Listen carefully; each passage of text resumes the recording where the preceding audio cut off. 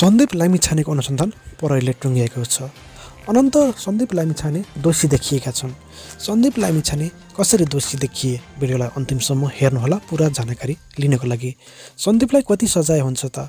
सन्दीपलाई बाह्र वर्ष सजायको माग दाबीसहित फाइल पेस गरिएको छ। प्रहरीले चाहिँ उनको अनुसन्धान टुङ्गिएको छ। अनुसन्धानमा के के फेला पार्यो के के उनलाई दोषी देखियो अथवा उनी दोषी छन् वा छैनन् जान्नको लागि तपाईँले भिडियोलाई अन्तिमसम्म हेरिदिनुहोला। तपाईँ हाम्रो च्यानलमा नयाँ हुनुहुन्छ र अहिलेसम्म हाम्रो च्यानललाई सब्सक्राइब गर्नुभएको छैन भने कृपया यसै भिडियोको मुनि रहेको रातो सब्सक्राइब बटनलाई दबाएर सब्सक्राइब गरिदिनुहोला। अनि भिडियो कस्तो लाग्यो तपाईँको मनमा के के छन् सन्दीपबारे अथवा युवतीबारे अथवा परि प्रहरीले गरेको अनुसन्धानबारे तपाईँलाई के भन्न चाहनुहुन्छ? तल कन्यासमा कमेन्ट चाहिँ लेख्न नभुल्नुहोला कमेन्ट गरिदिनुहोला। भिडियोलाई लाइक पनि गरिदिनुहोला। आउनुहोस् ढिला नगरी सुरु गरौँ सन्दीप लामिछानेको अनुसन्धान टुङ्गिएको अपडेटबाट। उनलाई बाह्र वर्षको सजाय माग दाबीसहित फाइल फाइल पेस गरिएको छ। अरू के के दोषी देखियो त्यो बारे जान्नको लागि तपाईँले भिडियोलाई अन्तिमसम्म हेरिदिनुहोला। आउनुहोस्। क्रिकेटर सन्दीप लामिछाने विरुद्धको अनुसन्धान प्रहरीले टुङ्ग्याएको छ। सन्दीप लामिछानेको अनुसन्धान सकाएर शुक्रबार प्रहरीले जिल्ला सरकारी वकिलको कार्यालयमा अनुसन्धान प्रतिवेदन पेश गरेको छ। सरकारी वकिल कार्यालयका प्रमुख अच्युत मणि नेउपानेले प्रहरीले शुक्रबार अनुसन्धान फाइल पेश गरेको बताएका हुन्। मुलुकीय फौजदारी अपराध संहिता अनुसार दसदेखि बाह्रसम्म कैद सजाय हुने प्रावधान रहे अनुसार बाह्र वर्षसम्मको कैद सजाय मागदाबी हुनुपर्ने प्रहरीको सुझाव छ। सो अनुसार प्रहरीले फाइल पेश गरेको छ। सन्दीपले गरेको पुष्टि भएको दावी गर्दै प्रहरीले बाह्र वर्षसम्म कैद सजाय मागदाबी हुनुपर्ने रायसहितको प्रतिवेदन सरकारी वकिलको कार्यालयमा पेश गरेको हो। शुक्रबार नै अनुसन्धान फाइल सरकारी वकिल पुगे पनि सोमबारबाट तिहारको बिदा भएकोले तिहारपछि मात्र थुनछेक बस हुने सम्भावना रहेको छ।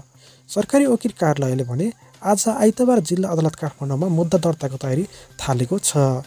अदालतले थुनछेक बसपछि साधारण तारिख वा धरौटीमा छान्ने वा पूर्व पक्षका लागि थुनामा पठाउने भन्ने आदेश दिने छ। सत्र वर्षीय किशोरीले आफूमाथि सन्दीपले काठमाडौँको एक होटेलको तिन सय पाँच नम्बर कोठामा लगेर बलात्कार गरेको भन्दै प्रहरी वृत्त गौशालामा भदौ एक्काइस गते किटानी जारी दिएकी थिइन्। सन्दीपले ती किशोरीलाई काठमाडौँ र भक्तपुर र नगरकोट समेत पुर्याएको र फेरि फर्काएर काठमाडौँ ल्याई एक होटेलमा राखेको भन्दै पीडित युवतीले प्रहरी समक्ष बताएकी थिइन्।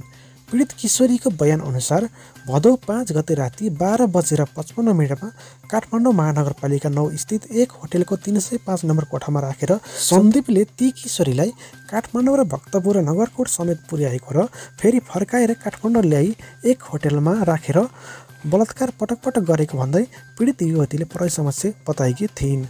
पीडित किशोरीको बयान अनुसार भदौ पाँच गते राति बाह्र बजेर पचपन्न मिनटमा काठमाडौँ महानगरपालिका नौ स्थित एक होटेलको तिन सय पाँच नम्बर कोठामा सन्दीपले राति दुई पटक पटक पटक बलात्कार गरेको दावी गरेकी थिइन्। सोही राति बाह्र बजेर पच्चिस मिनटमा पनि सन्दीपले आफूलाई बलात्कार गरेको ती किशोरीको दावी छ। आफू आफूमा बलात्कार भएको भन्दै जाहेरी दिएपछि प्रहरीले पीडित किशोरीको स्वास्थ्य जाँच समेत गराइसकेको थियो। पीडित भनिएकी किशोरी र सन्दीप सामाजिक सञ्जाल स्न्यापच्याट मार्फत नजिकिएका थिए। स्न्यापच्याट मार्फत चिन्जान भएर नजिकिएको केही समयपछि सन्दीपले नै ती किशोरीसँग भेट गर्ने प्रस्ताव राखेर उनलाई लिन गाडी लिएर पुगेको बताइएको छ। आफ्नो कारमा राखेर सन्दीपले ती किशोरीलाई भदौ पाँच गते छ बजीतिर काठमाडौँबाट भक्तपुरतिर लगेको बताइएको छ। त्यसपछि उनीहरू नगरकोटसम्म पुगेको पीडित किशोरीले बताएकी छन्। नगरकोटमा सन्दीपले मदिरा सेवन गरेको र त्यहाँबाट फेरि काठमाडौँ फर्किएको किशोरीको भनाइ छ। काठमाडौँ आइ आइपुग्दासम्म रातिको एघार बजिसकेको थियो र होस्टल बन्द हुने भन्दै एक होटेलमा कोठा बुक गरेर उनीहरू बसेका थिए। सोही होटेलको कोठा नम्बर तिन सय पाँचमा सन्दीपले आफूमाथि अन्याय गरेको र पीडित किशोरीको भनाइ छ। उक्त घटना लगत्तै क्रिकेट खेल्न विदेश पुगेका सन्दीप नफर्किएपछि प्रहरीले अन्तर्राष्ट्रिय सङ्गठन इन्टरपोल मार्फत डिफ्युजन नोटिस नै जारी गरेको थियो। त्यसपछि सन्दीप असोज बिस गते नेपाल फर्किने क्रममा त्रिभुवन अन्तर्राष्ट्रिय विमानस्थलबाट पक्राउ परेका थिए। प्रहरी वृत्त गौशालाको हिरासतमा राखेर उनीमाथि अनुसन्धान अघि बढाइएको थियो। अहिले अनुसन्धान सकेर सरकारी वकिल कार्यालयमा फाइल पेस भइसकेको छ। आफूमाथि लागेको आरोप भने सन्दीपले अस्वीकार गर्दै आएका छन्। आदरणीय दर्शकबिनहरू यो थियो सन्दीपमाथि प्रहरीले टुङ्ग्याएको अनुसन्धान। प्रहरीले सन्दीपलाई दोषी देखाउँदै बाह्र वर्षसम्मको सजाय माग गरेर सरकारी वकिलको कार्यालयमा फाइल पेस गरेको छ। प्रहरीले अनुसन्धानमा युवतीलाई न्याय दिने र सन्दीप दोषी देखिएको भन्दै बाह्र वर्षसम्म सजायको माग दाबीसहित फाइल पेस गरिसकेको छ। के साँच्चै सन्दीप दोषी देखिएकै हुन् त? सन्दीपलाई के बाह्र वर्ष सजाय हुन्छ? तपाईँलाई के लाग्छ? के प्रहरीले साँच्चै न्याय दिएको हो त? सन्दीपले साँच्चै बलात्कार गरेकै थिए त? के लाग्छ जे लाग्छ आफ्नो प्रतिक्रिया कमेन्ट बक्समा कमेन्ट गर्न नभुल्नुहोला। अनि तपाईँ सन्दीपको पछि हुनुहुन्छ भने सन्दीप लामी छाने लेख्नुहोला। अनि हाम्रो च्यानल अहिलेसम्म सब्सक्राइब गर्नुभएको छैन भने कृपया सब्सक्राइब गरेर हामीलाई साथ सपोर्ट दिनुहोला अनि भिडियोलाई लाइक पनि गर्नुहोला। कमेन्ट गर्नु चाहिँ नछुटाउनुहोला।